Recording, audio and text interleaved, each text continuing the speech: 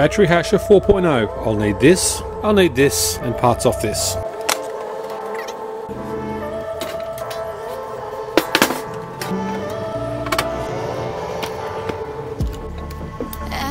So. Don't you know?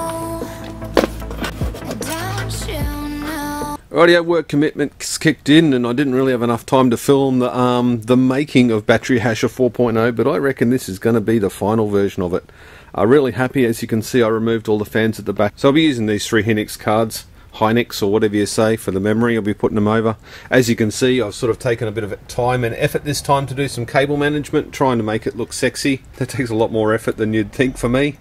Uh, even down here, I've sort of got everything bunched together. So I've got three 6mm square cables, one from the video cards at the top, and then I've got another one for the risers, and then I've got another one for the main board there and down there, which you can hardly see. I've tried to sort of sheath it all up. Now I was going to sheath this lot up and sort of try and hide it and make it look all super sexy, but what I found was you can see there those cables are mangled and practically melted together. Now I don't know why. They, these were all new cables from a good power supply with a good power source, so I wasn't sharing anything. That's the only cable, so maybe you've got to check every cable all the time and change them out, but who knows.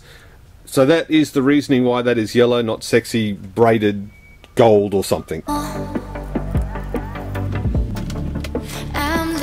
Shadow. Don't you know? There we go, the final result. I am extremely happy with the way that it's turned out. Everything is laid out nicely. Of course, I haven't tested it. Unfortunately, I don't have um, that lot all hooked up yet because that was the plan. I was going to have all that hooked up so I had 48 volts. I could actually run this up here, so I'll have to take it down to the battery shed, hook it all in, and see if she works for first time. That's going to be the that's going to be the deciding factor she works first time or not. Let's see if we can give you a live view of it actually turning on. So if indeed it does turn on. Rightio. Is it at all justified that I'm a little bit nervous? The power button is not turning it on. Let's have a look at this. We've got power there, we've got little little, little light. We've got no smoke coming out. Blue LED. I turn it on, she starts to turn on, then she turns off again. That's a brand new Pico board. The power switch is in. Nothing.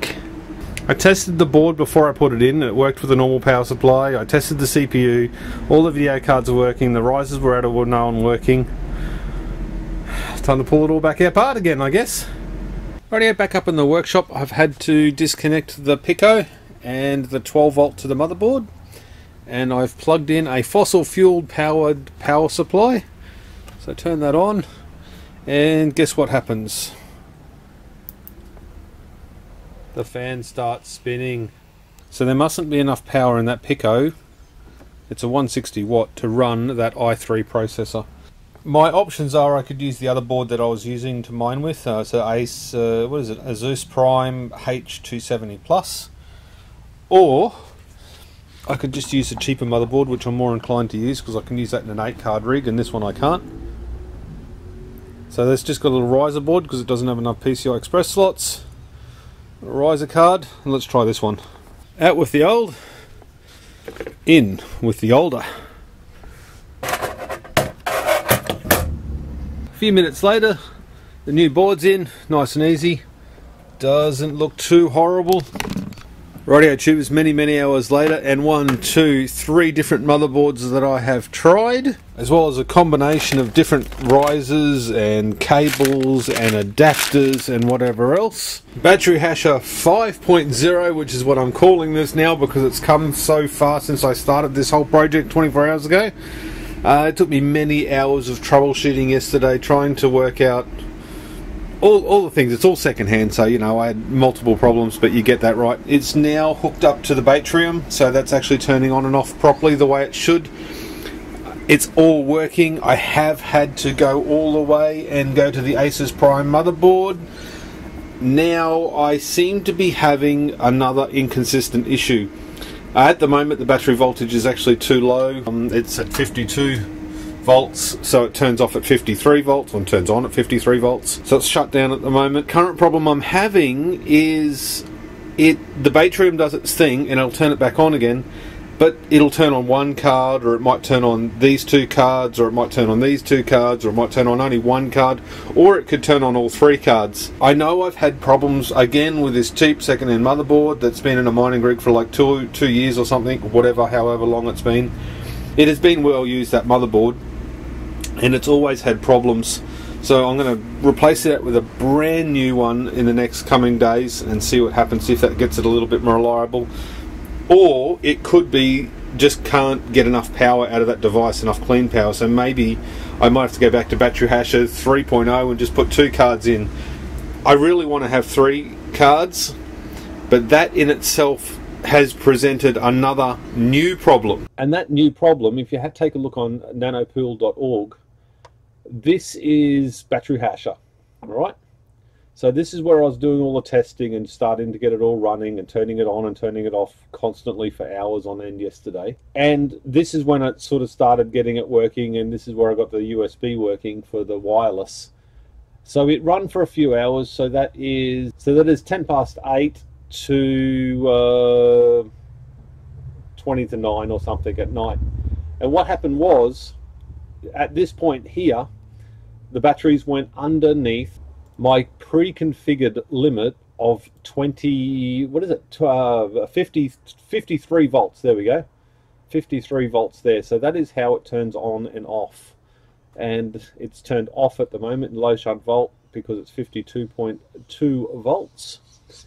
So and I've also got up here to 1000 seconds which is 16.6 minutes and it's the maximum that the Batrium can do it at the moment so it's got to, on start and stop, for 16.6 minutes, it has to be below the 53 volt, right? So if it goes below 53 volts and then comes back to 53.1 volts, that 16.6 minutes starts again from zero. So it has to go past that point for that period of time.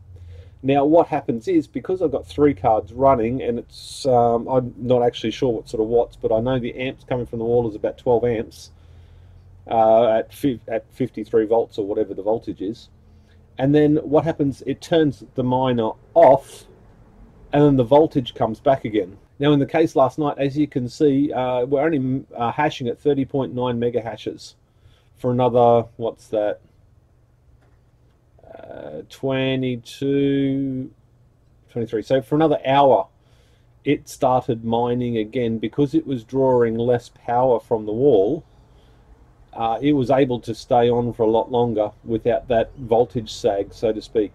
So that in itself is going to be a problem because I need it to turn off. once I once it turns off. I need it to actually turn off and not come back on again.